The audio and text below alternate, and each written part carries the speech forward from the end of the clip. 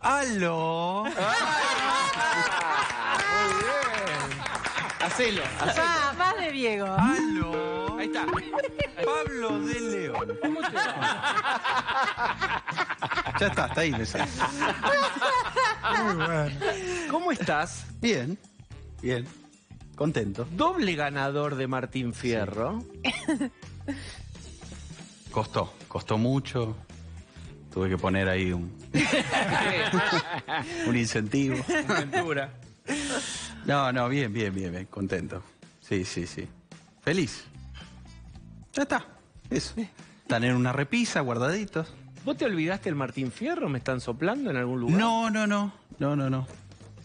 No, Bad hubo, hubo, information, bad information. hubo otros quilombos ahí en la, en la entrega del Martín Fierro.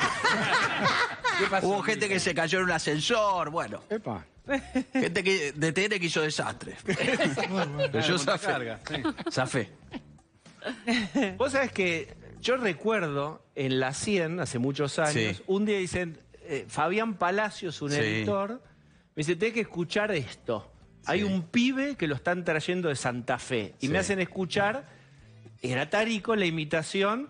En ese momento se llamaba Florencia de la Vega, no de la B Sí. como es ahora. Sí. Y hacía, era una cosa increíble, hacía carrera, carrera increíble. Sí. Y ese pibe, eso 2004 sería, era Ariel Tarico, que después meteórica tu carrera. Sí, ese era un demo que había mandado porque apareció un aviso en Clarín que decía importante medio busca humorista y bueno, yo estaba ahí justo haciendo algunas cosas en Rivadavia y Martín Rueda, el operador de LT10, me dice, bueno, vamos a armar un poco con lo que hiciste en Rivadavia y algunas cosas que haces acá y armamos un demo y, y bueno, era enviarlo y esperar.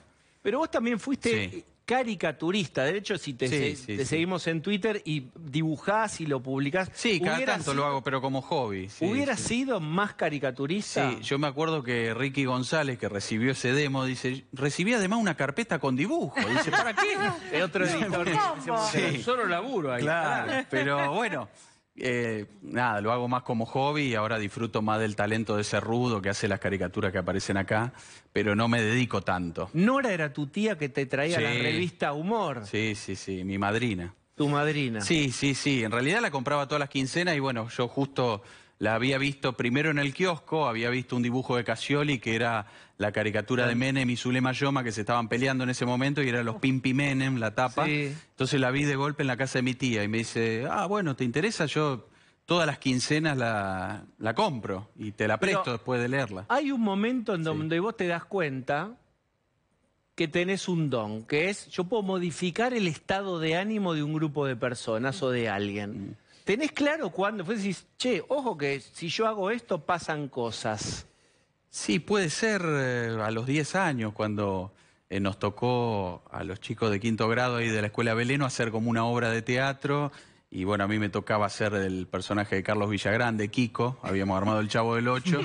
y entonces yo me disfracé de marinerito y bueno, y empecé haciendo la, la monería de, de Villagrán. Y entonces en el patio de la Escuela Belena, de golpe el- la respuesta de ese público que estaba ahí, que eran docentes y mis compañeros, fue explosiva. Y a partir de ahí me di cuenta que no había que laburar más. Seguir por ahí. se puede, Pero laburás un bueno.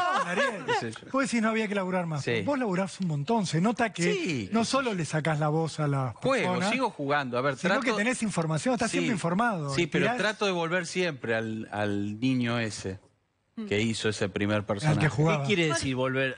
Sí. tenés- hay psicólogos en la mesa. Sí, tenés- sí, tenés sí, cuidado. ¿Qué quiere decir volver a, a ese Y esto de, de armar los libretos, de, de joder, de, de hacer también el, el laburo en equipo, porque me acuerdo que también había como armado la obra y yo era como el director y era como muy autoritario, incluso le decía, vos haces esto, vos haces lo otro, modificaba eh, los remates de, de las escenas, qué sé yo, y, y bueno, es un poco lo que sigo haciendo ahora, ¿no? De, de entrar, joder un rato, pum, irme. ¿Cuál fue el Sí. personaje que más te costó, que te desafió?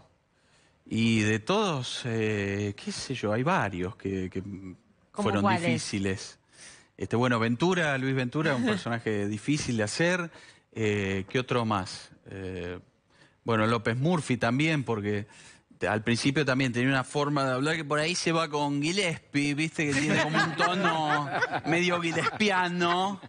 y por ahí se me mezclan los tonos. Entonces es muy difícil por ahí diferenciarlos algunos. ¿Y hay gente inimitable? Hay tipo Sí. que decís, quisiera imitar a este, pero no me sí, sale bueno, qué sé yo. no Por ejemplo, nada. Bilic lo sacó muy bien a la reta, que para mí es un marciano, es alguien inexpresivo. es como algo... Martín Billy, claro, Sí. lo hace bien. Y lo hace bien porque le encontró el personaje y le encontró un personaje gracioso, con la máscara y todo, y bueno, y, y la sonrisa ¿Cómo de se arma Guasón. la ma- que todo el mundo, esto estás podrido contestar, pero renunciamos a Sí. cualquier pretensión de originalidad, como está de moda la Sí. película trasera ahora. Pero, ¿cómo lo haces? ¿Cómo se eh, talla la madera? Es escu- eh, Bazán, tenés que imitar a Bazán. Sí. ¿Qué tenés que escuchar? Inimitable. Inimitable. ¿Qué, ¿Cómo No, se pero hace? Empiezo por el tono de voz, empiezo por el tono de voz y se me va pegando y después mando un WhatsApp ahí al, al grupo de laburo y bueno, y va creciendo ahí el personaje. Y te van agregando lo- el modo, la cadencia. Sí, sí, en realidad empieza por ahí Ezequiel Mesa a tirar una línea de guion, después... Este, Pues no son un equipo, si querés nombrarlo, que Sí, está Seba bueno. Meléndez también, Sí. Nico Seijas, bueno, mucha gente que está laburando. Y entonces empieza a armarse la conversación del personaje, pero por ahí el, el boceto de todos está en la radio. Yo sigo siendo un tipo de radio, entonces muchos de los personajes surgieron ahí en la mesa de trabajo, por ahí improvisando, y ahí es como que empezó todo, sobre todo porque hay que contestar y meterse en la cabeza del personaje y, y bueno, y estar atento a lo que Hay- te tira. Hay, mucha- hay mucha gente que te considera como un analista político. Sí, ¿Cómo te como- cae No, a vos? no, no, no, no lo soy. Sí, pero es- Eh, creo que es bajarle el precio, eso es bajarle el precio a, a los humoristas. ¿Por qué? ¿Por qué? Oye, Gracias por todo. Está bueno. Sí, Nuestro- sí, sí, porque no, ¿Por es como te dicen, ay, sos, no, sos un periodista, no, por favor. No, pero Estás En rodeado. esa Sáquenme mesa. de ahí. No, no, no. Sáquenme Mirá que estás rodeado. Sáquenme. Sí, Bueno, sí, pero sí, vos- por eso hay demasiados está siempre periodistas. muy informado. Yo Ariel. creo que los medios... Ariel, hay una ¿Por qué cosa que- están tan mal los medios? Porque hay demasiados periodistas. Es verdad, tendría- es lo un digas. mundo de humoristas. Lo vino a decir un acá. mundo de humoristas. Sí, sí, sí. Mañana tal cual. aparece Diego solo. Eh, eh, eso no es gracioso, igual. Ah, bueno. Y yo digo a No, veces pero cosas Intereses. inconvenientes. Estás tocando No, pero intereses. ¿cómo- ¿Y cómo te llevas con, eh, con esto que pasó recién acá, que a nosotros nos pasa todo el tiempo, que es Melcoñán te quiso saludar, Otra vez se Sí, puso como... A nosotros verdad. constantemente nos pasa que hablas con tal y te dice, y te pregunta cómo está el tono, y también están muy pendientes de cómo lo haces, si lo haces bien o no. Sí, ¿Sos sí. consciente de que vos posicionás a un tipo, vos haces tu trabajo, que, que- que no importa lo que digan, pero pones un tipo en la, en la gran escena vos también al, pon- al imitarlo? Sí, los políticos en general son cholulos, entonces esperan Claro. que eh, Claro. hables de ellos bien o mal, y entonces siempre les gusta el tema de, sobre todo el muñequito, está, está lindo Claro. cómo queda en cámara, entonces les gusta eso. ¿Alguien Pero se te lo enojó alguna vez? No, no, no, ¿No? nunca tuve problemas, ¿viste? Todo el mundo te dice, che, ¿tuviste algún problema? Y todos van a la imagen de Tato Bore, la jueza Barubududia. No, no, no tuve ese problema de una censura o, o Hay algo un grave. momento que, digamos, yo veo, yo veo Que, también... A ver, puede ser que alguien se enoje o no le guste y bueno, es parte Sí. de... Hay un momento que uno ve, observa, que directamente no es que imitas, sos. Sí. A veces impresiona, porque yo me veo a mí mismo discutiendo políticos, si estuviera el tipo ahí, y es... Y es como un juego de improvisación, sí, de teatro. Donde vos ya pensás y- como le- si fuera que le imitas el alma. Sí, bueno, eso es un poco lo, lo que aprendí en los talleres de teatro, viste, con Ana María Yunta, con Jorge Vara, que ahora estuvo también en la película en 1985 que hizo de Lambruschini, eh, con Ernesto Claudio, que era, bueno, siempre te decían, bueno, ha- hacemos como que estamos jugando y tener claro esto, de entrar en, un, en la psique de alguien y después salir. Es como un juego medio psycho. Eh, ¿Y te gusta leer? pero es, es, sí, es como, bueno, jugar a ser otro. Y tenés que estar, vos se nota que o lees o estás muy pendiente de la política por lo que dicen los personajes, digamos. Sí. Estás informado Todo veces. día, recontra al día. Sí.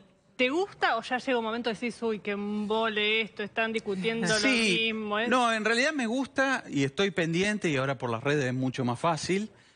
Me aburre a veces sí la agenda de que todo el tiempo Sí. discutimos lo mismo, la emisión monetaria, el déficit fiscal y por qué no bajamos impuestos, y que te- viste como una mesa de polémica en el bar, el loop, que todo el tiempo discutimos y, y uno dice una cosa, otro dice otra y no nos ponemos de acuerdo y no resolvemos nada. Y estamos en la misma. Eso Hay mucha me gente- aburre Pero por ahí, pero... Ah, perdón, Osvaldo. hay mucha gente que no sabe que hiciste mucho teatro, Sí. incluso el teatro del que muchas veces es considerado eh, de, de poca calidad, quiero decirlo. Con, eh, no que yo lo considere, quiero decir, eh, no prestigioso, por decirlo de alguna manera, ¿no? Con nombres muy, muy populares. Lo Sí. hiciste a lo largo de todo el país. ¿Qué aprendiste de eso? No, pero este era teatro de buena calidad, porque Sí, no, estaba por yo. eso te digo. Ah, muy bien.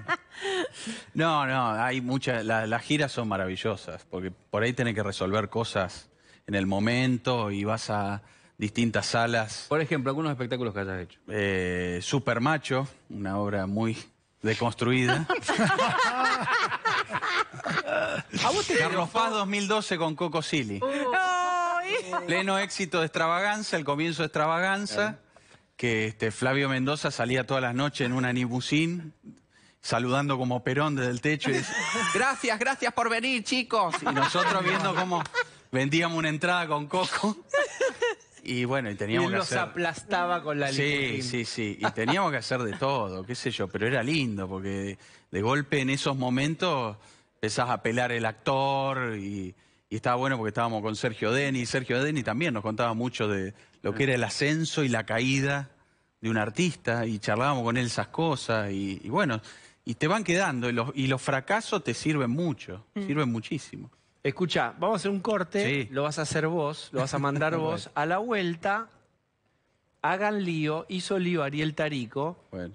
porque predijo a Víctor Hugo Morales y Víctor Hugo hoy mismo, hoy a la mañana, le contestó. Lo van a ver después de la tanda. Ariel Tarico hizo una cosa y yo digo, esto no puede estar ocurriendo, estaba ocurriendo, lo después lo hizo Víctor Hugo y hoy mismo le contestó. Víctor Hugo a Tarico, después de la tanda, dale. Ah, no, mándela, sí, mándela. Vamos a una tanda que Mañeto necesita facturar.